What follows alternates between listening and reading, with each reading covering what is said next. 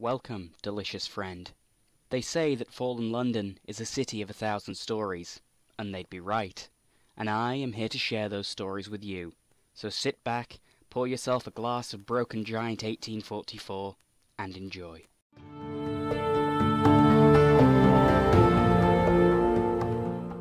Ah, welcome back.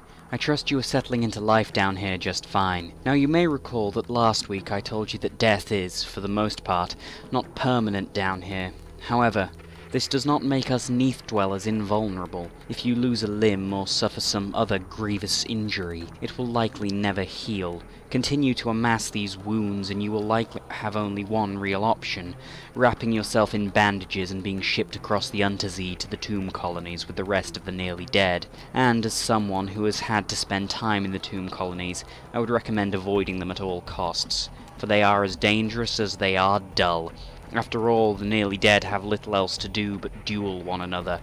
Indeed, the tomb colonists themselves are exceptionally dangerous. I would advise avoiding confrontation with them, unless you happen to be a player of Knife and Candle. But as with many things, Knife and Candle is a story for another time. So to help you avoid that rather boring end to your existence, I feel it is my duty to inform you of some of the beasts and other dangers of our fair city. Though today I will be telling you only of the common Neathly beasts. Perhaps if you last down here I will tell you of far more terrifying things that lurk in the shadows of our city. Now the first, and likely the most obvious dangerous pest you'll ever come across in Fallen London is the Sorrow Spider. Sorrow Spiders are far larger than any surface arachnid, and infest our fair city at an alarming rate. Those poor folks with eye patches and glass eyes, they're likely Sorrow Spider victims, for the Sorrow Spider does not aim to kill, no, it attempts to steal away the eyes of its victims.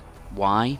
Because below the Silken Chapel, sorrow spiders hatch from human eyeballs. They got their name from the tears their victims shed from their remaining eyes. As for how to deal with them, hatchets and eye protection, and if your lodgings become truly infested, I would advise contacting the Department of Menace Eradication, or lighting your lodgings on fire and fleeing to the surface. Now on to the second most common pest of our city, though I find it cruel to refer to them as such the Rattus faber, or LBs.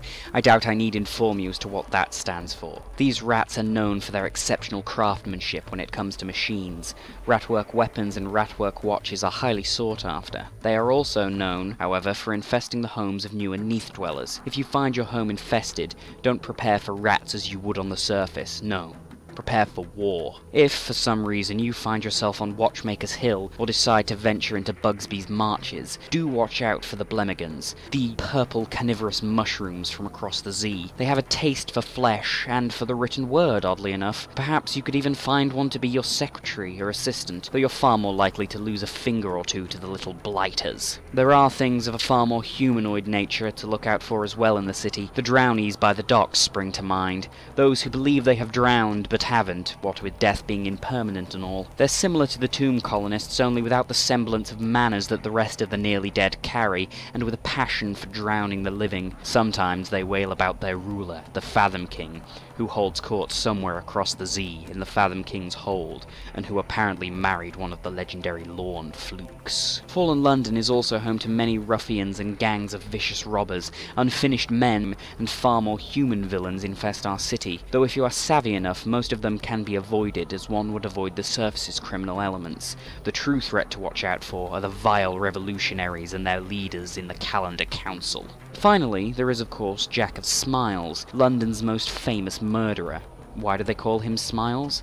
Because of the way he cuts up his victims, many of whom still get up, much to his annoyance. During the Neath's false winters, he is known to hide in snowmen until people pass him by, at which point he leaps out and slices them from ear to ear, though again they usually get up. Some have claimed Jack prefers to go after those on the wanted posters, slicing up said posters as a warning to his victims in advance. Jack has been reported as a man, a woman, and even a clayman, though the truth of these claims has yet to be proven, and there are some who whisper that he is connected to the Masters of the Bazaar in some way.